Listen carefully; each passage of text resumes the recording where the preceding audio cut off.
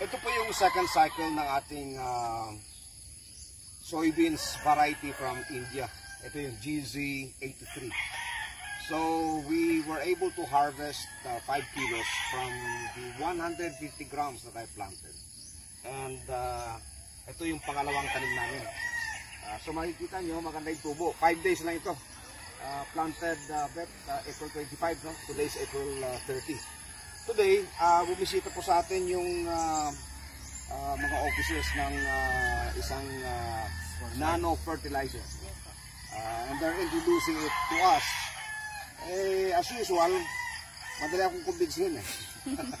so pumayag ako na i-demo nila yung kanilang produkto. Si Maki Chu, yung wife niya, si Jo, and si ah, Leo Samiliano. Ito po si Obet. Ah, Leo, paki-explain mo nga kung ano yung produkto niyo. So, ito sir, si NutriBoss Nano Plus ah, Smart Fertilizer, no? Ah, ang nakaganda lang sa kanya sir is, ah, pag sabi nating Smart Fertilizer, it's combination of ah, ah, biofertilizer at the same time nanotechnology. So, ang ang advantage niya sir, kasi ang component ng ating produkto is kompleto na siya. So, may, may humus na, seven extract, fulvic acid, no? NPK, which is ah, yung absorbable form na, no? at saka microelements. At the same time, the live microorganisms, no? which is kailangan natin sa ating ah, lupa no? para i-rehab yung ating ah, soil Okay. integrity. Ang sinasabi ni Leo kanina sa akin before uh, we came here, uh, for my soybeans, tatlong application lang okay na. Yes. So I don't need to apply uh, synthetic or inorganic fertilizer. Okay, so spray no. This spray po, Ang isang pakete, isang drum. isang gram. Uh, and that's good for one hectare? Yes po. Okay.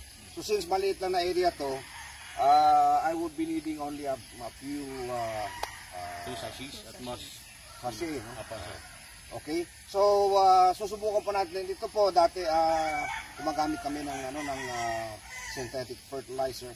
Ngayon, these uh, plots, itong mga plots na to, uh, ito na yung gagamitin namin as uh, courtesy sa inyong offer. No?